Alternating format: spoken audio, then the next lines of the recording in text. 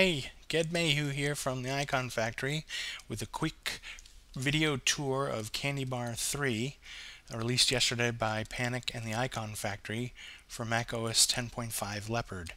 Um, you may be familiar with the app, you may not be, but I just wanted to run down some of the cool features from the application as well as some things you may not know about it um, to give you a brief overview. And so Users of Candy Bar will be familiar with the top portion of the UI, which is the change pane, and then Pixadex users will probably be familiar with the bottom portion, which is the view pane.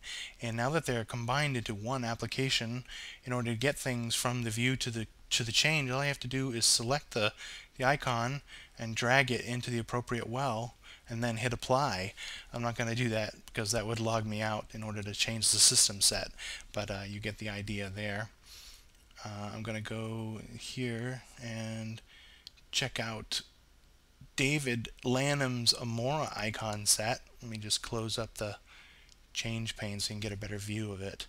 Um, these are some of the icons that he's done. He re-released Amora recently with all new 512 by 512 icons and the results are pretty, pretty spectacular. Um, lot, lots of levels of detail in these icons. They make for a really fantastic system replacement set. Um, so one of the best things about Candy Bar 3 is the ability to change the Leopard 3D glassy dock that everyone's been talking about down there.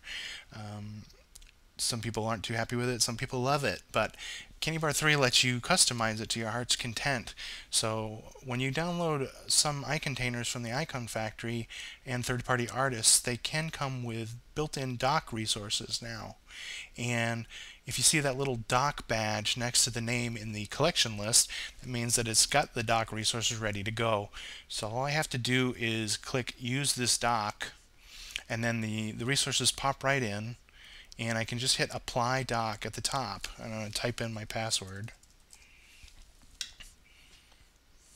And say relaunch the dock.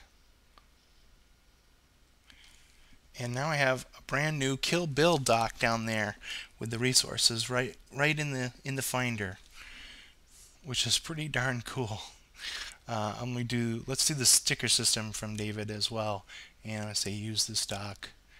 And it's apply relaunch. And now I have a sticker dock. Uh, it couldn't be really easier than that. Um, watch for iContainers that contain dock resources uh, in the days and weeks ahead from the Icon Factory, and I'm sure from third-party artists as well. You can also customize them manually just by dragging in the individual dock components, like the active indicators and the separator as well. And one of the other cool things that we can do now is out in the Finder, we can actually look inside iContainers. Uh, here in CoverFlow view is the Macabre iContainer. You can actually see the icons that are inside the set in the preview in CoverFlow. And here's Anthony Piraino's Polar Express set. Um, this is something we always wanted to do with Pixadex when it was first released. We wanted to actually see the icons inside the iContainer, but it just wasn't possible. Um, but with Leopard and the fantastic guys over at Panic, uh, they worked this into the the uh, Quick Look plugin for the Finder, and it really is cool to be able to do that kind of detail, uh, eye candy kind of stuff and just some other stuff you can do real quick with Candy Bar 3.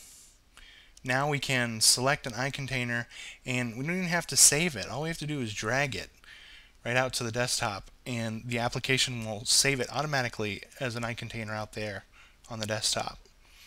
So all these things combine into one really cool application.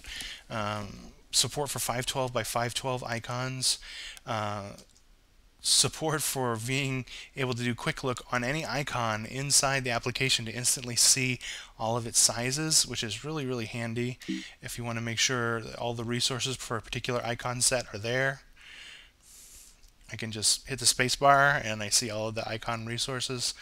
Um, support for custom dock looks and feels right inside Candy Bar 3 to to change them effortlessly. Uh, we really think Candy Bar is a wonderful application and we hope you will too. Please check it out at panic.com slash candybar. Thanks for stopping by.